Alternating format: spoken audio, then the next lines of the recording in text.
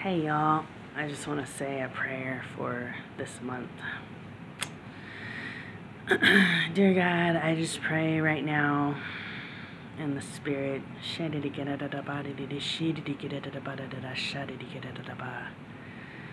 God, I just pray that your Holy Spirit will fall on America right now and that the gay parades will stop, that people will stop walking around naked and parading their sin.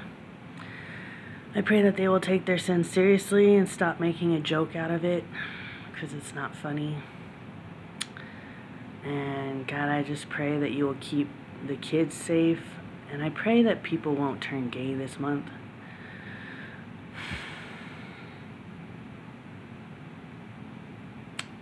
God, I just pray that America will be holy and righteous and good.